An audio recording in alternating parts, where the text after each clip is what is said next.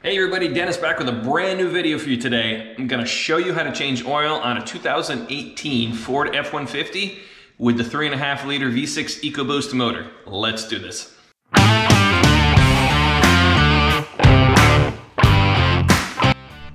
All right, today we're gonna show you how to change the oil on a 2018 Ford F-150. It's pretty much the same for all the models. This is a 3.5 liter V6 EcoBoost. So our first step is to open our hood. All right, so our first step, we wanna pop the hood here. So right in the driver's side footwell, just pull that lever there. Now to get the hood open, you release, it's kind of hard to see, but if you look and you see where the metal latch piece is coming down right to the right of it, there's a lever. You lift it up and your hood pops. So this guy right here is what you're looking for. So you can kind of reach your hand in here flat and tilt it to the side and that'll pop your hood. All right, so change the oil here. This is our oil fill cap right here. So we want to pop that out. I typically will just drop it here by the air intake. Kind of keeps it safe. This is your dipstick. Uh, we can leave that in for now. For the 2018, I'm not sure if the 17 uses it or not, but um, it's a 5W30. I would recommend full synthetic because of the turbos. Um, I had a 2015 F-150 EcoBoost 3.5, just like this one, and it was 520. So unfortunately, I couldn't use the oil that I already had. I had a six uh, pack case of the 520, and I could not use it on this truck, so I had to go out and buy the 530. So typically, I do like to use the Ford Motorcraft filters, um, but they didn't have them at the store, so I ended up picking up this Fram. So for the 2018 EcoBoost, it is a TG 10575. So 10575 is the number you're worried about. TG is just the tough guard. Uh, PH, I believe it's PH for their lower end one. Um, and they also have this one here. Uh, this is ultra synthetic, so this is their XG series. This one's the most expensive one. It's like, like 10 or 11 bucks. I think this one was nine. Um, but I do recommend, um, you know, if you don't want to use the Fram and you want to use the Ford Motorcraft ones, uh, you can pick them up on Amazon fairly cheap. You can get them in multi-packs too and save even more money. So this is the oil we're going to be using today. This is a 5W30. This is just a regular Mobil 1 synthetic. Uh, I didn't get the high mileage because the truck only has about 30,000 miles on it, so still fairly new. So we're going to use this today. One other thing I do recommend getting is oil drain plugs. They recommend, I believe, to change them at every oil change. You probably don't have to. Um, I noticed the last time I changed the oil on this truck that it was weeping out a little bit, so I bought this multi-pack um, of Dorman. I, I forget exactly how much it was. It was maybe 15 or 16 bucks, but I got these on Amazon. So we're gonna put a fresh one of these in uh, after we drain the oil. All right, so some of the things we're gonna need, we're gonna need an oil drain pan and a funnel. Also make sure on your drain pan that your vent is open. That's key because if you start filling this up and your vent is closed, as the oil drains inside of there, it's actually gonna bubble up and it's gonna splatter. And if you have a nice garage floor or a nice driveway, you don't wanna get any oil on it. So, little tip also, you're gonna need uh, some metric sockets, a ratchet, an eight mil socket to take off the pan underneath the truck. I like to also put a little anti-seize on those screws for uh, that pan on the bottom. Um, if you don't have either a drill driver or a little impact like this to use, you can just use uh, like a quarter inch ratchet. And then I like to use gloves just to keep everything clean and then some paper towels to wipe everything up. All right, so this is the pan I was talking about. We have to drop, there's four screws on here. They're eight mil. So you have two on the back side on either side. And then there's two kind of tucked up in the front here. You gotta kind of really shimmy under here, but um, I never really have to put the truck up on jacks to do an oil change on it.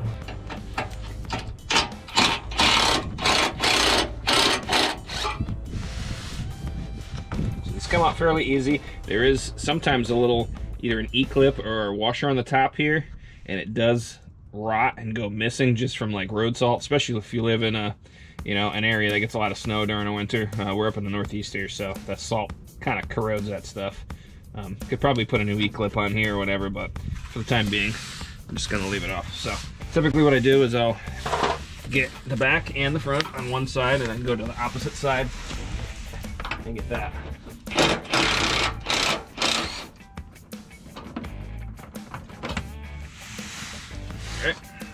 That's that side. Alright, now we're gonna take off the opposite side.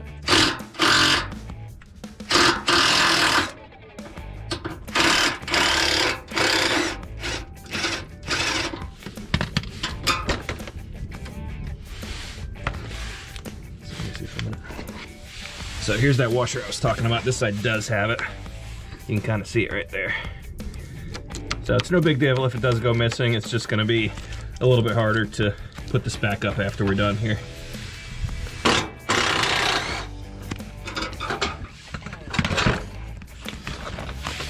and there's the pan. And you just kind of move it towards the back of the truck and you're good. Now, I'll show you where the oil drain plug is. All right, and you can see the drain plug I was talking about here. So the ones, the replacement ones that we have are orange. This one's yellow. And you can see this one, I don't know if it's the original to the truck or whatnot, but you can kind of see that everything is wet down here. And I've been noticing a little oil drip on the ground in the driveway. And it's definitely because this oil drain plug is leaking. So hopefully we put this new Dorman, uh, the orange Dorman one in here, and that'll fix that problem. So you'll notice on here, there's a little tab in the center. This doesn't have that half inch ratchet um, inset on it. So we can just grab that with a pair of pliers. You can see the clips on either side here, and that'll just pop off, and we should be good to go. All right, so we have our drain pan under here. And I'm just gonna grab onto this guy with a pair of pliers. Give it a little turn.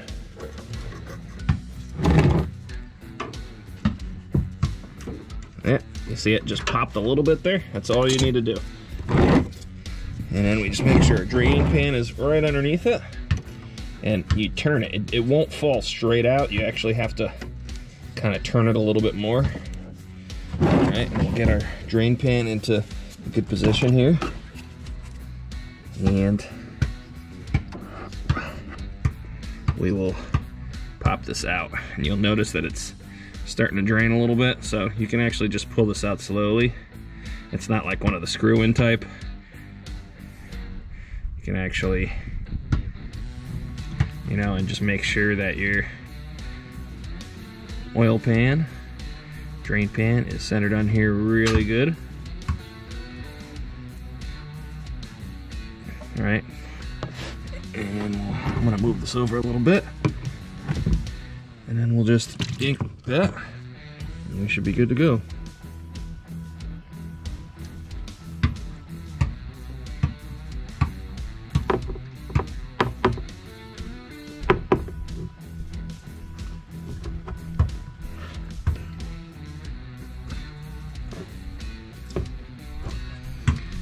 And I do recommend doing this while the engine's a little warm, not like really hot. It will help you drain this a lot faster.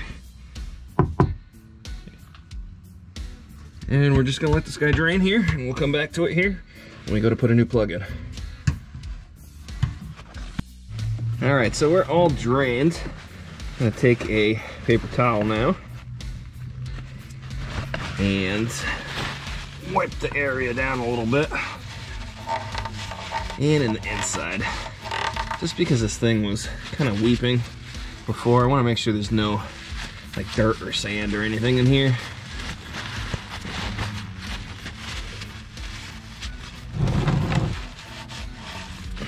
So we look good. Now I'm to take the new one. I'm to take just a little bit of the old oil here and I'm to rub it on the seal. You'll notice this has that half inch Actually, I keep saying half inch. It's actually 3 eighths inset. So just put it in, we'll turn it, and then it clicks in place. And that's it. Super simple. And then when we go to change the oil next time, now we have this 3 eighths inset on here. All we need is a ratchet. We don't need a socket anymore. So it's pretty awesome. It's kind of a nice new feature. I'm sure people complain about it now that it's not a, a metal bolt with a magnet on the end, but Um, all I'm gonna do now is I am going to kind of wipe up all the oil that's dripped down here. Uh, we'll clean it up and then we'll go take the oil filter off. We can actually put uh, the this uh, shield on back on the bottom of the truck. Um, you can leave it off if you want, like so after you start the truck, just to make sure nothing's leaking. Uh, I may just wait to do that, so I'm gonna get this cleaned up and then we'll go to the filter. All right, so here's the old drain plug. As you can see, this O-ring is definitely beat. It's kind of misshapen a little bit. It's not really rounded on the on the front side here.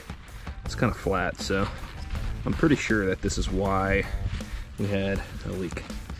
So as you can see, kind of see from up top here, the oil filter is right down there where my finger is. So when you do pull this off, the oil will drain. There's a plastic pan underneath it that actually will guide the oil towards the back of uh, back side of the engine. Actually, it's really the front side of the engine, but the back side of where the oil filter is. So I'm gonna show you where to put the drip pan so you don't make a mess.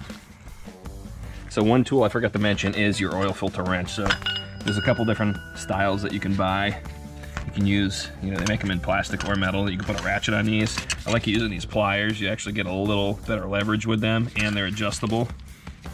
They're slotted here so you can go, depending on your oil filter size, larger or smaller setting. So this is the metal shield right here. On the back side of here, you can see how it's kind of stained. This is where the oil drips out. There's a plastic pan above this and it guides the oil down. So this is exactly where you want to have your oil drain pan so you don't make a mess. And then, kind of hard to see with the lighting here, but there is your oil filter. So I like using these oil filter pliers or this wrench so I can just get that right up in there and loosen that up. So depending on who changed the oil filter before, you know, if it's on there, cranked on there good, you may have a hard time getting this off. Uh, but I changed this last. It's not extremely tight, you know, it's just tight enough, so it should come right off. All right, so I already loosened the oil filter here.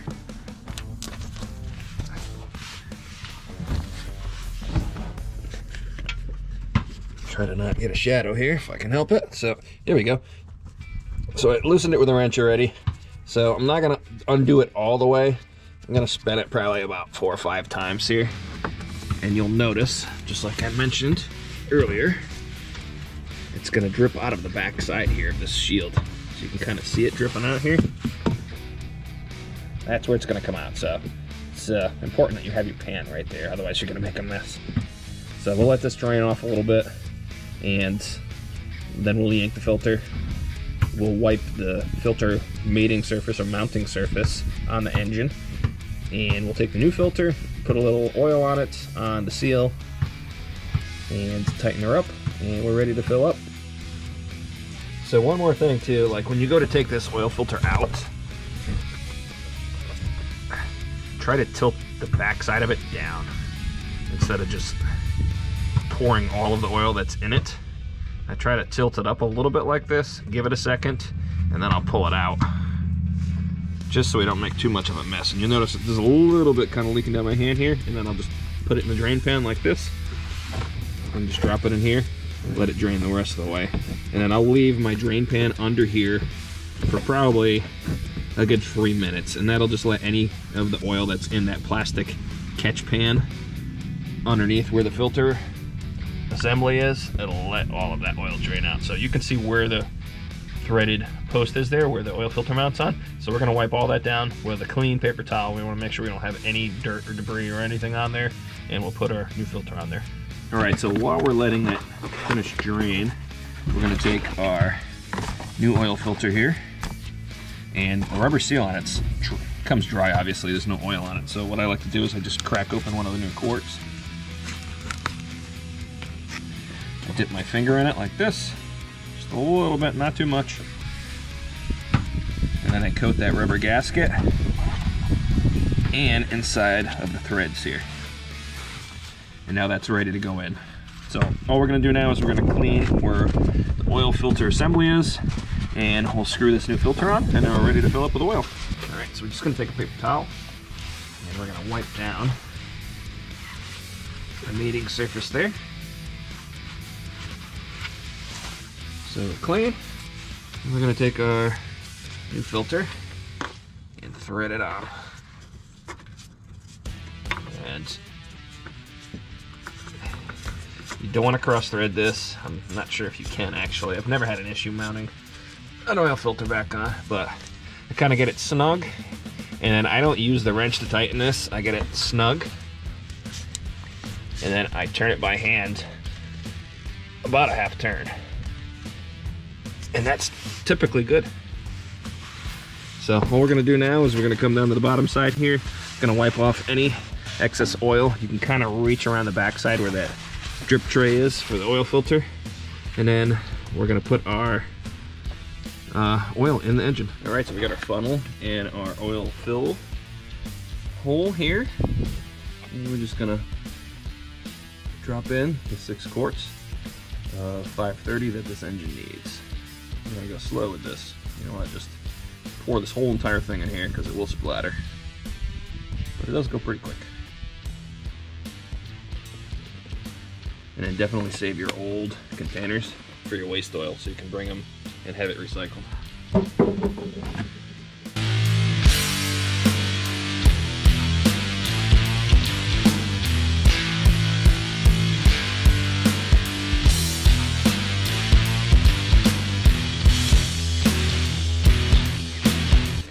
Gonna check our oil level now. So you don't want to check the first time you pull it out here. You want to wipe it off.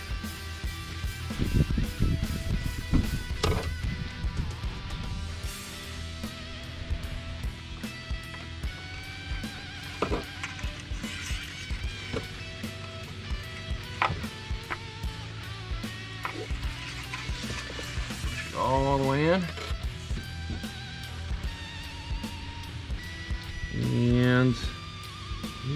Good. So there's two holes on here.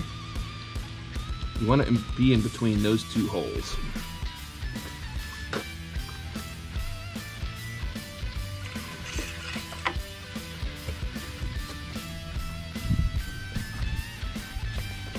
This definitely does take the full six quarts It's looking at my wife's car, which takes five and a half. So I always have an extra half quart after using one of these six packs. Then have a rag. And you can pull this out of here, you don't drip everywhere.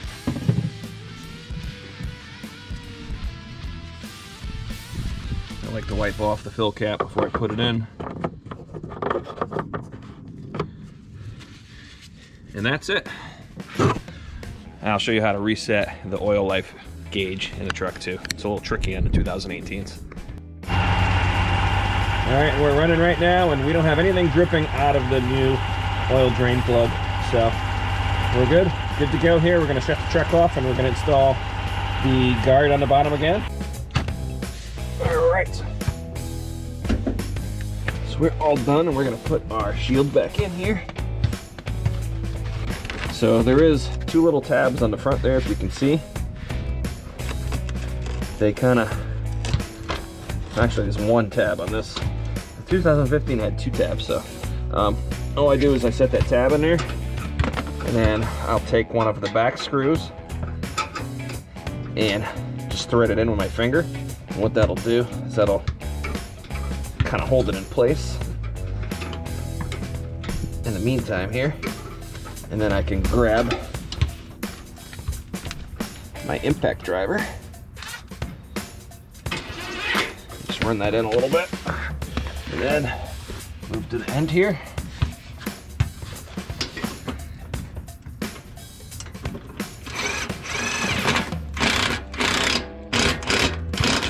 Obviously you don't want to you don't want to crank it, break it, but you do want to tighten it because you don't want it falling off while you drive it.